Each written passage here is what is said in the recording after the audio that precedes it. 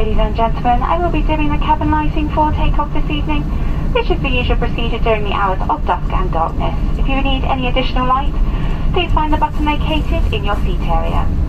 Cabin crew, take your seats for takeoff.